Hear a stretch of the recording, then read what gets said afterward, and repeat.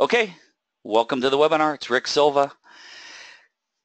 My goal for this webinar, and I think most of you were referred by Eric Lofholm. We'll talk about uh, my relationship with him shortly. Um, my goal for this is to make you say things like, he's crazy. I've never heard that before. That's not what my CPA says. That's not what my financial planner told me and I'm going to let you know most of uh, what I'm going to teach you today I've either done personally or some very wealthy people have taught me. So one of the, the, the, the big keys throughout this webinar is going to be find people more successful than you and listen to them. As a general rule, not always, some of you, there might be some financial planners or some CPAs on here. as a general rule, not always. Now, I've had the chance to talk to maybe three or 400 CPAs and thousands of financial planners. I don't, don't want anybody say, well, that's not, that's not, not all of them. Most financial planners and CPAs make between 50 and $125,000 a year. And if that's what you want to earn, if you don't earn that now, that's fantastic. Then you might want to listen to them. But when you have a chance to listen to somebody who's made many, many times over a hundred thousand in a month and whose mentors uh, make many times more than that, you might want to you might want to listen. It could be things you haven't heard before, um, and that's my goal is to tell you things you haven't heard before. Just to think of, to look at things differently. Okay, so zero to millionaire um, you're going to get a lot more than seven principles, but you have to you have to name the webinar something, and it's a catchy phrase. Seven principles I use to become financially free. You're going to get a lot more than that today. So our two outcomes for today: number one, to share with you, take the seven off, and say tons of principles that help change my financial life. And then, if you're interested, the other thing that I do, not only do I teach networking and have courses and all that, which I'm not going to talk about at all today. Uh, the way I created most of my wealth is partnering with my wife six years ago, helping people invest in land. I'll show you visuals of that. Uh, at the end, I actually am going through a huge offer on one of my parcels right now. I'm currently negotiating with uh, developers, and I'm going to show you the numbers and sh just show you the percentages, everything. So that'll be at the very end if you're interested uh, in seeing that. I already said I have nothing to sell today. I'm just going to teach you a bunch of stuff. So let's get right into it. Enough about the preamble. Okay, so we have some rules. Now, some of you know I run networking groups. I've been running networking groups for the last 14 years. You always have to have ground rules for your meeting. Now, I can't control what you guys do, but you're going to spend an hour with me. You might as well uh, look at the third one and say, just kick back, relax, and listen. Number four, stay off your phone if you can. It's just an hour. It's just an hour. Have fun. We'll go to the top two. It's there. There's no such thing as a get rich, rich quick plan. This has taken me. Um, I'm going to tell you some things now. So when I pull up the slides, I'm going to skip it. So in 1998, I was with Eastman Kodak. I got laid off. I became a recruiter. I was a headhunter from 1998 to 2001. 29 years old, I was a multimillionaire in stock options with all these companies. And you know what happened to me in 2001, the dot-com crash, I lost everything. I got married, I had a house. In 2008, I got divorced. That house, uh, because of the bank-owned properties that were being released, that house went $300,000 under market. And I did a deed of trust transfer and I handed it to my ex-wife.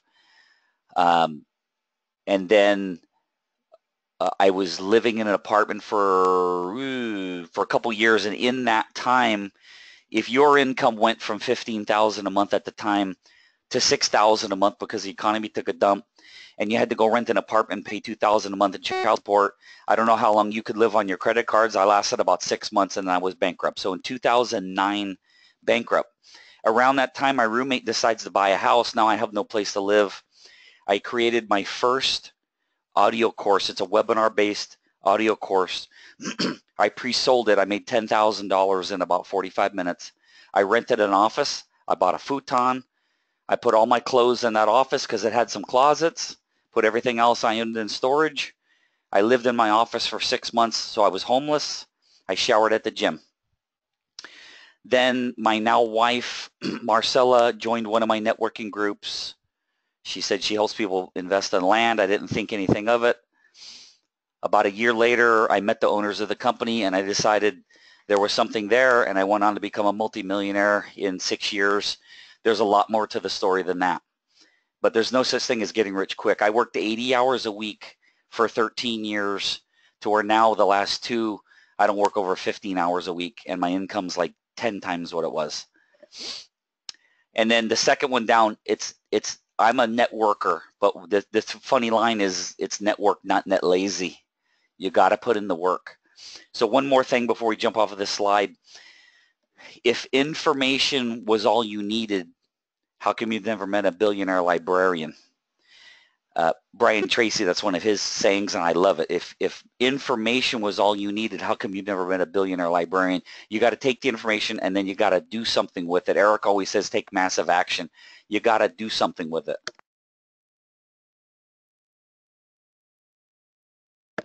I think it's 13 years at this point that I've known Eric.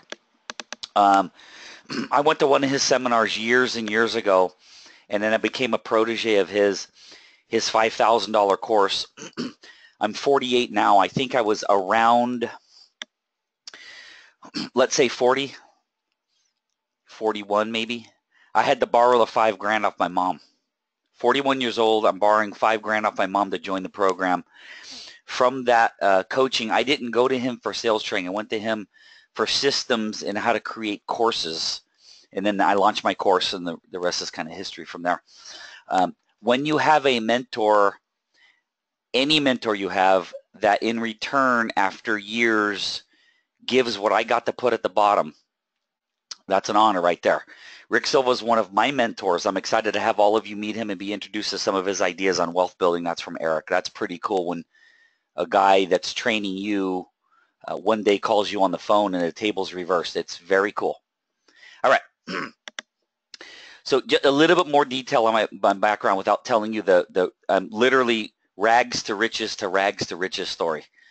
Uh, I worked for Eastman Kodak, then I was a recruiter, and then I did staffing for startups. That's where I got all the stock options. Um, I have two webinar-based courses on networking.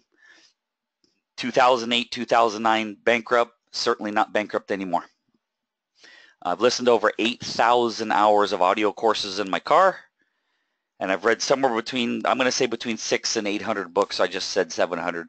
And I think the 8,000 hours, honestly, now is probably nine or 10,000 hours.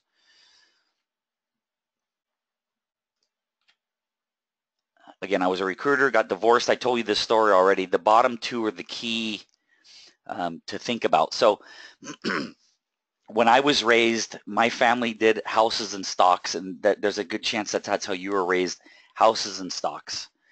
Um, but historically, the greatest uh, fortunes in the world have been created with land, and I'll show you some visual of that later. So not only do I teach networking and run networking groups, and I also help people diversify into land. Here are the seven principles with a whole bunch of inside, a whole bunch of principles inside of it. Number one, the ego hat. The ego hat. Number two, investor versus speculator. Number three, some ideas on not over leveraging. Uh, number four, some ideas on power partnering. If you have a job, you can take a nap through power partnering. If you're self-employed, you may want to listen closely. And then we're going to talk about 401ks. We're going to talk about the missing link in investing, and we're going to just get some ideas on finding people to listen to besides potentially the people you're listening to now. So the ego hat. So here's Rick Silva standing on stage coming off stage, signing autographs, selling audio courses, shared the stage with Les Brown years ago. I walk into the office uh, of the owners of the company that helps people invest in land. That's where my wife had been working for years. I sit down. The owner of the company looks at me and he goes, I know in your world you're a big deal. I got it. I know you're a big deal. And if you come in here thinking you're a big deal, I can't make you rich. So what I want you to do when you walk in our office is take that 10 gallon ego hat off and hang it at the door. If you can take the ego hat off, I can make you rich. If you're going to keep the ego hat on and think you know everything, then you're going to be exactly where you are. and I said, I go, heck, I'll take the I'll take the 10 gallon ego hat off. I'll I'll, I'll lay here naked.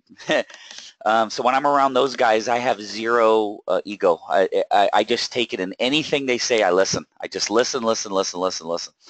So a lot of times when I'm doing classes or networking, people go, boy, I know everything about networking. I hand out my business cards everywhere I go. Uh, that's not networking. That's called marketing. So I have to then go into this whole thing about you know what networking is and they think they know everything and I can't teach you anything about networking if you think you know everything. For me to learn how to create wealth in land, I had to go into it uh, saying, I don't know anything and I'm just going to listen. I'm asking you guys, is there's a possibility that you went on this webinar thinking you know a lot. I'm asking you for the next 50 minutes, let's pretend that Rick Silva might know something and let's just, maybe I got something to, to give you and if the ego wall is too thick, the message won't get through. Okay. So my what I learned, what made one of the things that made me wealthy was you got to take the ego hat off when you get around people that might know more than you and just understand none of us know everything. Next slide. Find mentors. Okay, so I'll tell you one quick story my cousin saw me do and he couldn't believe it. I would, if I was in a coffee shop and I saw somebody pull up in a Bentley or a Rolls Royce or an Aston Martin or a Porsche or a really high-end Mercedes, once in a while, not every time, but once in a while, I would get in line and I'd say, excuse me, I, I saw you pull up in your, in your beautiful car. Can I ask you what you do? Because I always like talking to people more successful than me and maybe I can learn something. Now, some people are going to look at you like you're an alien that's okay. One or two or three out of 10 people are going to answer a bunch of questions for you, uh, and that's going to change your life. There's a book called Rich Like Them. Rich Like Them. And a guy went out and he went to the richest uh, zip codes in the United States, and he would wait for the UPS driver to pull up to the gate. And then he'd walk through the gate and he'd go and he'd knock on every door of every mansion and the person would answer the if they answer the phone he'd say hi i'm i'm interviewing rich people. Can you tell me what you did to get this house? He gave the number how many people slammed the door in his face. Some people answered one or two questions. Some let him come in and and interview him and uh, with the servant serving him lunch. There are people that will answer your questions. Here's the key. You got to have the guts to ask them Next slide. Again, I've already said it. I give you the slide so you can look at it later and so it can embed into your mind. You have got to find people more successful than you. There is someone in your industry, no matter what you do for a living, there is someone who makes 10 times more than you. Find them and see if they'll help you. so success leaves tracks. Uh, this I'm going to explain to you what this means. Like walking in the snow, just walk in the same steps as they do uh, and, and steps and do what others have done. So here's the example. My wife's from New Mexico. My father-in-law is a pretty famous hunter, elk hunting, deer, all that stuff. The guy's 70 years old, and every year we go there for Christmas, and they hike up these mountains. no human being could keep up with my wife. I can't keep up with her father, and he's 70. So they lose me every time. But what I can do is walk in his tracks, and I will find him. So what I'm getting at is you need to find people more successful than you, walk in their tracks, and someday you'll be where they are. Okay? You got to have coaches. I can help you with networking. Eric Lofholm with sales, and then uh, Brian Tracy, Bob Proctor, Zig Ziglar, Jim Rohn. Those are my guys. Those are the guys I've spent thousands and thousands and thousands of hours with, listening to in my car, watching them on YouTube. It's all out there. You just got to find it and get it. Let's talk about investors and speculators. So I've had the chance to meet with, again, probably well over a thousand, but certainly in the hundreds and hundreds of financial advisors, over a thousand real estate agents, at least three or four hundred mortgage lenders. So I've heard people talk about how they invest. I invest in this, I invest in that. And a lot of times people are trying to time it. They're trying to time it. What's the next hot this? What's the next hot that? And they're timing it. So there's an investor and a speculator. An investor buys an asset based on what it will do over time. Never buy anything you can't hold for 10 years. So if you're buying something going, it's got to go up quick. Oh my God, what's the latest price? Don't even look at it. let it go. If you can't let it go, you shouldn't invest in it in the first place. A speculator buys and sells on the movement of the price going up and down. This is a great slide that we found. You can see the stock market going up and down. The, the wife's having a heart attack. The guy's looking at his 401k is going to pass out. The dog's about to about to have a heart attack because it's going up and down, up and down, up and down. That's not the life I lead. So in yellow on the screen, I'm waiting for, I can see your view. I was waiting for the screen to show up. So typically high risk investments that are almost uh, akin to gambling fall under the umbrella of speculation, whereas lower risk investments based on fundamentals and analysis fall into the category of investing. I'm giving you all this information. When I send you the recording, uh, you can slow down and read the entire slide. Now talking about over leveraging, I, I knew so many people that before 2008, they'd buy a home, It'd go up 100,000 in four or five months. They'd take the equity out. They'd buy two more homes. Those would go up. They'd take the equity out. And they had 20 homes in two or three years. And then in 2000, 2008 and 9, they lost all of those homes. So, and I, I know another person that was very successful. He bought a $2 million building that had three or four office, uh, like it was like a little commercial strip. The, the anchor of it was a Burger King and his monthly nut on that building I, I don't know the exact numbers. It was five figures. It was 10 15 20 30 40 thousand dollars a month that he was paying on that note. So what happened is the cousin was the bookkeeper for the Burger King and he was stealing money and that Burger King went under and they, the, the franchise closed it on him. So now you have a building that was custom built with a Burger King in it and you lose the Burger King, there is no way he could afford that nut. So he lost the building. What I'm getting at is if you if you are investing in any kind of rental real estate and you don't have at least a year cash put away to cover that monthly nut, you're making a huge mistake. And I know a lot of people that I've got to buy a house, I need cash flow. And then they got that extra two or three hundred dollars a month on cash flow and then they go buy a car with that money and then it needs a washer dryer or it's got a leak or it needs a $15,000 roof and they've been blowing that cash flow. Most people I meet invest in cash flow so they can have a higher lifestyle now. You're not going to get wealthy. You're, you're not even going to get above lower middle class if you're spending your cash flow and almost everyone I meet spends their cash flow to live on it. Humongous mistake. Please have a year liquid before you even dream of buying any investment that, that you think you're going to get cash flow on uh, it's a it's a risky endeavor. so I want you to always think about this. The reason we have stress is because we have debt. The reason we have stress is because we have debt. I'm not going to read this entire slide to you. It's called the wedge theory. You can see it on top. Brian Tracy teaches it. Now, I want you to think back 10 years ago, 15 years ago. There's a chance you made less then than you do now. And you were still living. When you were in college, you were still living. Uh, a couple years later, you got a job and you were making a ton more money, you were still living, but you're making more now. But you may not have any more money now than you did then because what people do is their income goes up, so do their bills. What we need to do is we need to find a way to bring the income up and not let the bills chase us at the same speed. So the gap between what we earn and what we spend, the bigger that gap is. I want you to imagine if you if you touched your palms together and then you opened up your fingers wider and wider, it looks like a wedge. And you need to drive a wedge between your income and your expenses or you will never, ever, ever retire. That's the bottom line. You've got to take that, the gap between what you make and what you spend and you've got to find ways to invest it or you're going to work till the day you die. So here's some more cool stuff I learned from mentors. Top one, uh, you got to learn how to outpace, outpace inflation. That's why I invest in land. At the end, I'll show you uh, the parcel that I have an offer on and you'll see how it uh, outpaces anything on the planet. Return on investment on creating audio courses. So when I created my first $197 course, I was doing the publishing, printing the CDs, putting it in the case.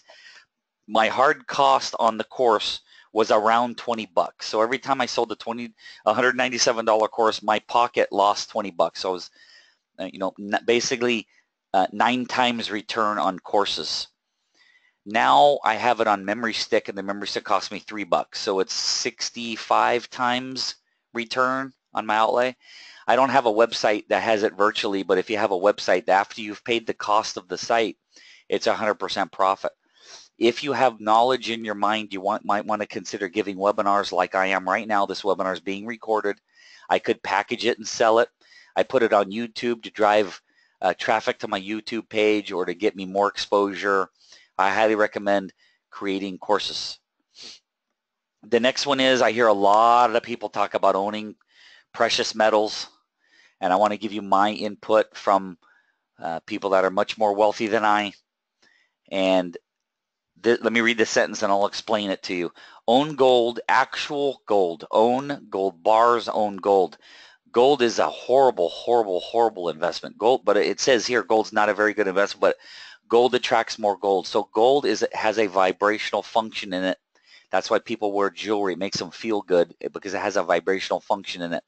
If you have gold coins and gold bars, it attracts more gold but in itself is not a good investment if you're if you're buying it thinking it's going to go up a lot in value because it could also go down a lot in value. So gold is a commodity.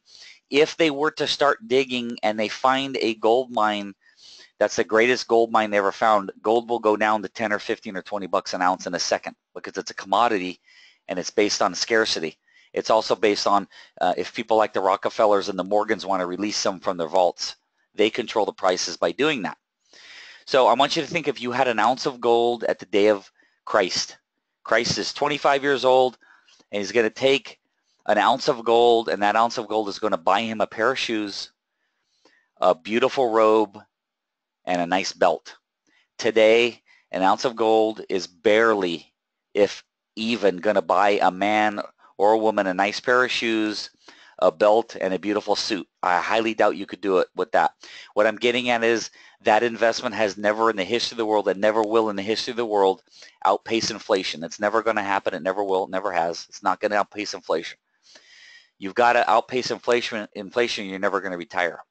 if you want to be wealthy, looking at the next one. Why? What are you going to do with the money? That goes into goal setting. That goes into affirmations. You got to ask yourself, why do I want to be wealthy? Now, no matter what you invest in, you got to diversify. So me personally, uh, the only thing I own is land. I don't have a dollar in the stock market. If you gave me a stock, I'd sell it and buy more land. I own eight parcels of land. I control 1.1 million square feet of land, eight different areas in Southern California. Last one on the list, credit cards, paid off at the end of the month. This is from my mentor, one of my mentors. If I can't pay it off at the end of the month, then I wait seven days to make the purchase to decide if I really need it. If I really need it, then I'll buy it only if I can pay it off in two months or less. If I can't, then I shouldn't buy it. This is uh, one of the big keys for how I got wealthy. Most people don't do this.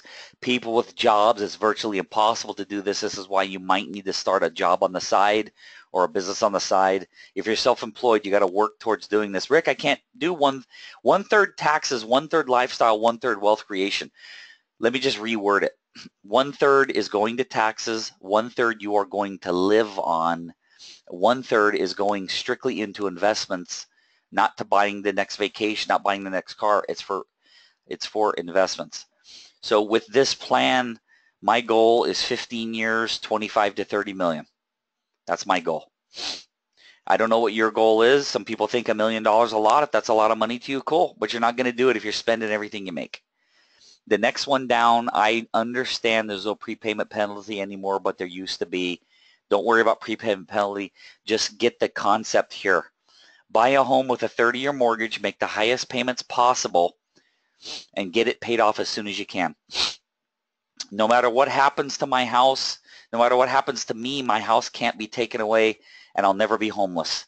One of the things we need to do if we own our house outright, no matter what happens to our life, we're not going to be homeless and if you ever need money when your house is paid off and you have the grant deed in your hand, you can very easily go to a bank and take some equity out if you need to.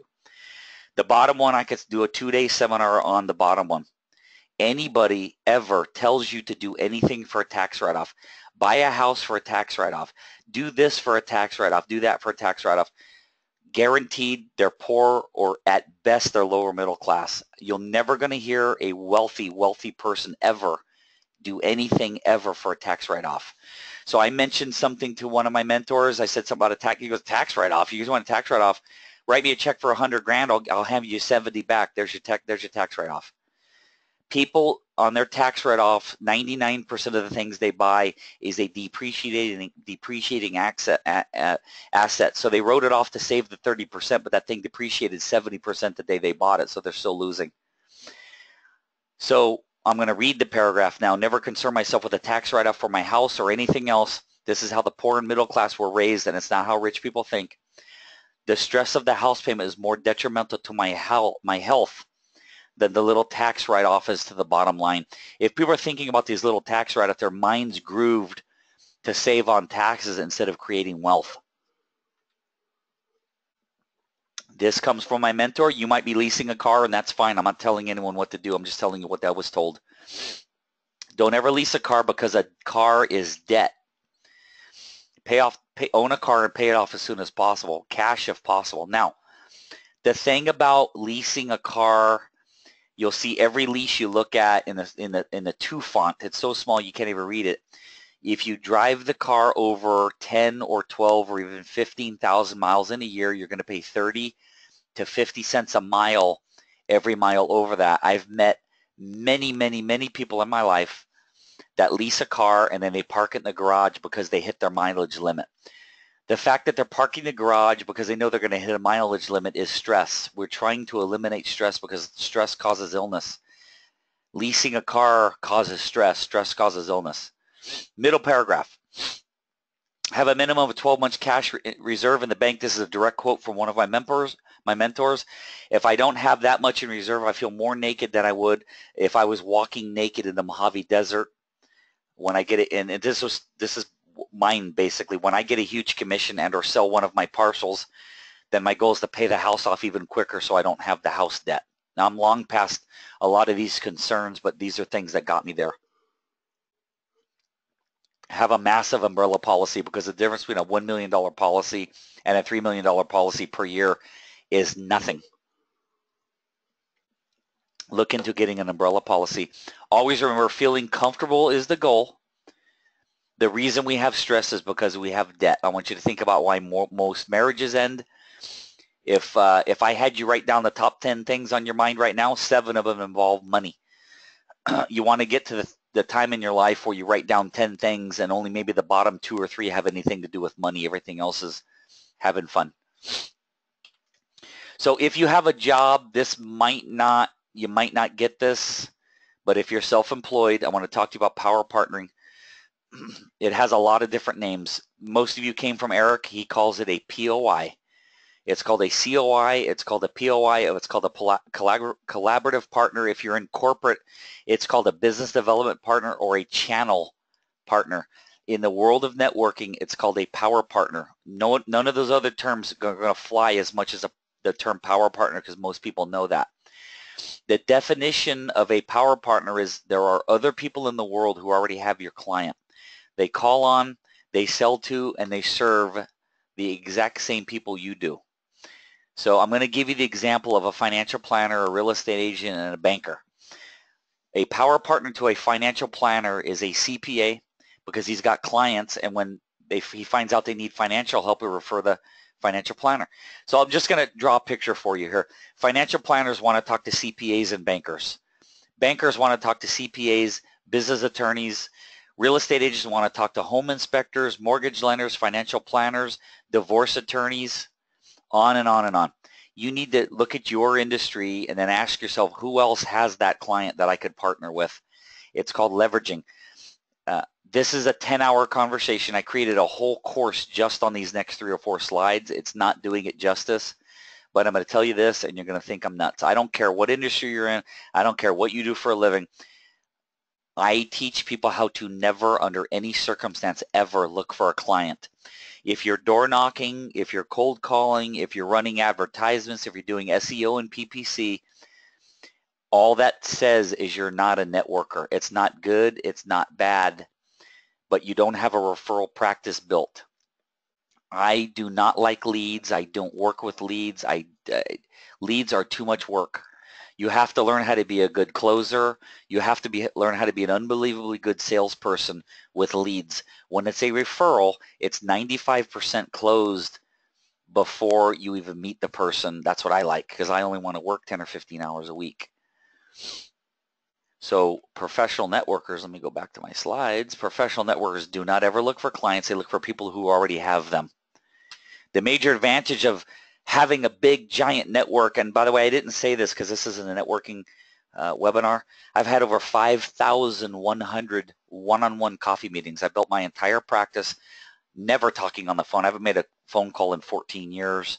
I don't use websites. I meet people and I do things like this. Now I didn't do any work. There was 91 of you registered for this webinar. I didn't do one second of work to get those people to register. Someone else did it. That's called power partnering. Um, but the major advantage of being highly networked is you have referrals coming to you without effort. It means number one, you can spend more time serving your clients. Number two, you can spend more time not working. That's why I only work about eh, at the most 20 hours a week. So the average self-employed person spends 25 to 35 hours a week looking for clients. If if you had all the clients coming to you could handle, then you're just servicing them and then you're hanging out doing other things. I got other things I like to do besides work. It's the single most important concept you must master. I can help you with it. I just can't help you with it today. If you need help with your networking, I can certainly help you. Just send me an email. My info is at the end of this webinar. I'm going to skip this because you're either going to be a networker or you're going to be a cold caller. So I'm going to skip these slides. We're going to talk about 401ks now. man, I could do. There's so much to know about 401ks, and I'm so not a fan of them, and I don't believe in them in the slightest. I'm just going to uh, show you some things that explain it. Again, 401ks are for reducing your tax base, all that. Remember, anything that helps you save on taxes is not going to make you rich. Let me show you a picture here. Look at that. Look at that house. Whoa, it's not even done. I think they're building tennis courts on the right. That's a the, the pool house is bigger than most people's homes. The, where he parks his cars is bigger than 90% of the homes in the country. Here's another one. Look at that. I think that one's in the Hamilton in the in the in the Hamptons. And then look at that beast. And then look at that one. Guess what? Guess who owns them? Now let me ask you a question. Do you think the people that own those have 401ks or are they the hedge fund managers? Go on the internet and look up homes of hedge fund managers. Those are the homes of hedge fund managers. All of you that have money in a 401k, you will not be wealthy from it but the people that are charging you the secret fees behind the scenes that you could never figure out in your lifetime, they're the ones living in those mansions. They're getting rich off of you. You can't control anything that has anything to do with the fees that are being charged in those 401ks. I'll show you some more information on that shortly to give you an idea of how much I love 401ks. But what we want to look at is another way to get a million dollars. If you look at the screen, find your age and whatever age you are, look at the dollar amount. That's how much you need to save until you're 70 to have a million bucks. And that's if you think a million bucks is a lot of money. Unless you have a pension, you better have a heck of a lot. A million bucks is nothing. But if you're 35 years old, 850 a month for the next 35 years, I have a million bucks. Just look at your age, look at the number, and that's how much you need to have to get to a million. Again, and I keep saying this, that's if you think a million's a lot of money. If you don't have a if you don't have a pension, whoa, let's prove it. So, and this is old. This is from uh, 2011. They used to say it was 4%. So what you do is you have your nest egg when you retire, and if you take out 4% per year, it's on the next slide. Let me show you. If you take out 4% per year then you won't do something called superannuate. You guys want to hear a cool term. Superannuation means you dang sure better not outlive your money. Your out money better outlive you. But they changed it in 2012. They're saying now it's 1.8%. Actually in 2010, 1.8%. So if you had a million bucks, you cannot take out more than $18,000 a year or you will superannuate, meaning you will outlive your money and you'll be broke. So if you look at this example on the screen, if you have 500,000 bucks at 1.8%, that means when you retire, you cannot take out more than $9,000 a year. My medical insurance is $9,000 a year right now and I'm 48 years old. I can't even fathom what it's going to be. What I'm getting at, guys, you got to have a million dollars is is is nothing. It is nothing. I can help you get rich, but it's certainly not with a 401k. so in yellow, the important decisions about your 401k are made by someone with no training or education in most companies. 90% of the country's employees' 401k plans are watched over by people who need no special qualifications. And I didn't make that up. November 9, uh, November, I'm sorry, November 2009 Smart Money. Go down to the bottom. The impact of 401k fees is hidden and colossal. Many fees are not required to be disclosed to you uh, and it can eat up more than half of your 401k income uh, that you earn in a 30-year span. And one of the other funny terms I, I, hear a lot is my 401k only goes up when I put money in it. Yeah, because all you're doing is saving on taxes. It's not going to get you rich. A recent AARP study found that 80% of 401k plan participants were unaware of how much they were paying in fees. And if you don't know about it, you can't change it. More and more employees are investing their futures in 401k plans. People who participate in these plans assume the responsibility for their retirement income by contributing part of their salary in many instances and directing their own investments. That These people are not trained professionals. The hidden fees in retirement plans are confusing and the major problem for retirement savers.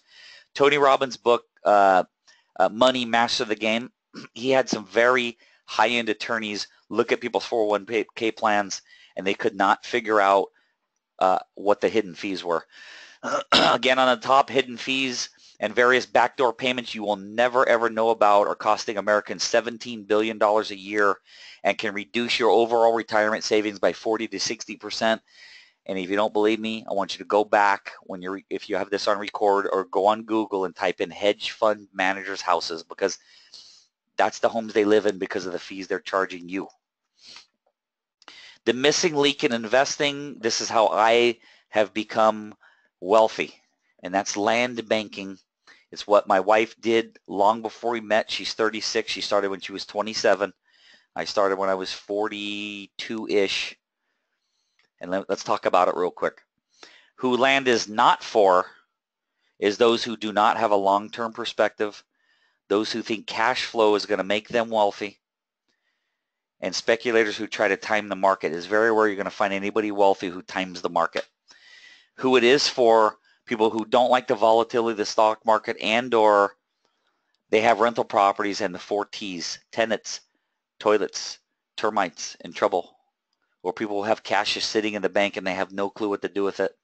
Those who don't like to be a landlord or business owners. I've met hundreds of business owners and the only thing they own is their business. And they go, oh, when I retire, I'll sell it for a million dollars. They're lucky if they're going to get a hundred grand for it. You'd be shocked what the true value of a company is. It's much lower than people think. And then they think they're going to retire on just that. And then the way people invest with us is if they have cash, old 401ks or IRAs with $25,000 to $2 million, there's something called a self-directed IRA. And those can be opened. The money can be moved into that non-taxable event. And then the self-directed IRA can own land. What is land banking? The practice of buying affordable pre-developed land in the path of growth. For those of you like that are visual, this slide and the next slide made me a millionaire. If you get it, it can make you wealthy too, and I can help you do it. So in this picture, you're going to see a whole bunch of yellow lines. And before I tell you what the yellow lines are, I want you to look in the upper right-hand corner, 2002, Rancho Cucamonga, Southern California. You're going to also see in the bottom left an on and off ramp that is not built. You're going to see these yellow lines. Google put those lines in showing you where the roads ended up. They are not there in this picture. If you had the knowledge, if you knew where the on and off ramp is going, if you knew how to acquire the land, you could get land in this picture for 50 to 200,000 an acre, 50, 50 to 200,000 an acre. I'm going to jump ahead 10 years. This has happened in every area you live, where you live now, where you grew up. This has happened. But when you live there, you don't see it. I'm going to give you an aerial view. I want you to think anywhere you live and look at it uh, over the course of 10 or 15 years, and it's done that. In that picture is wealth.